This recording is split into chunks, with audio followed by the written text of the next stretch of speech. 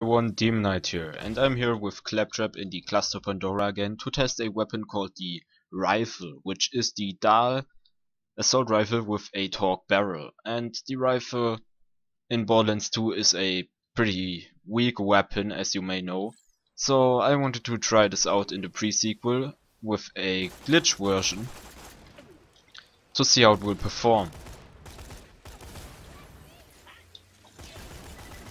Alright, just gonna um, reload here a bit to get my load explode stacks. Okay, so we got a badass over here, so let's see how, how this will perform. Um, this weapon is not able to score critical hits, which definitely doesn't help. And I think I can already tell that this isn't a very good weapon. It definitely struggles in dealing with badasses a lot. And even with small enemies right here.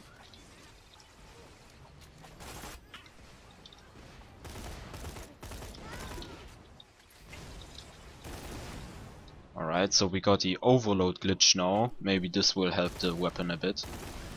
The the um fire rate doesn't seem to be decreased, at least the burst fire. So that's pretty nice. I guess it's the same deal with every Dahl assault rifle. And we just went down here.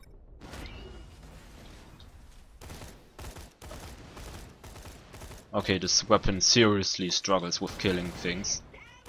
I think it's safe to say that this is a pretty bad weapon. Even in Borderlands the pre-sequel with a um with the glitch version, so far the only real glitch that does help this weapon was the overload glitch, this one right here. That makes it a little bit better, but still nothing too special. I should probably use my cryo grenade a bit more. If it would hit something.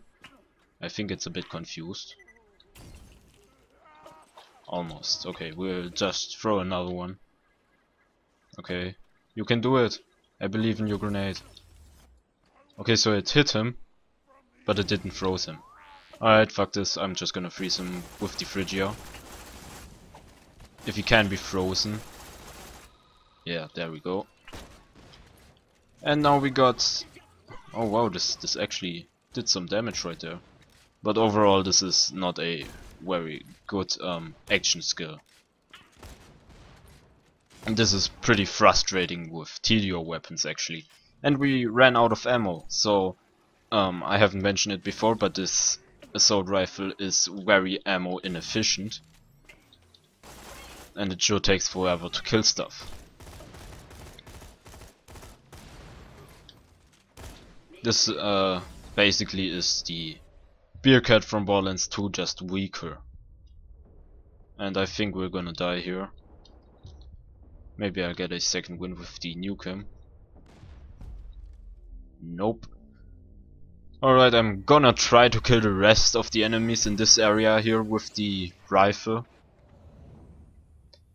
And that's just going to be it for this video. I think um, I don't need to do any more testing. This is a pretty bad weapon. Alright, uh, uh, um, we got the the explosive boost thing from Claptrap now. Maybe that does help a little bit, but I doubt it. Okay, so let's freeze him. Should probably get some stacks of load and explode.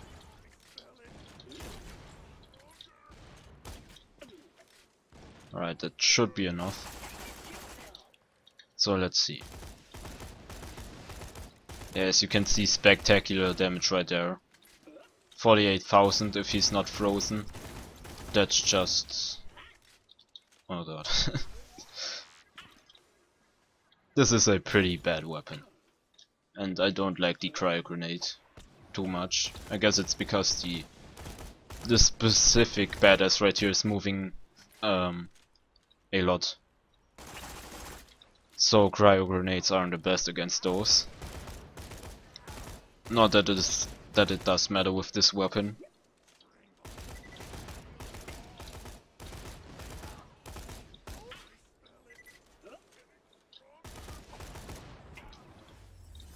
Um, what's to note about this weapon too is that it doesn't get grenade boosts.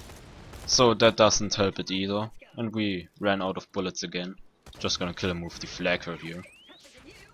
That's actually a good weapon.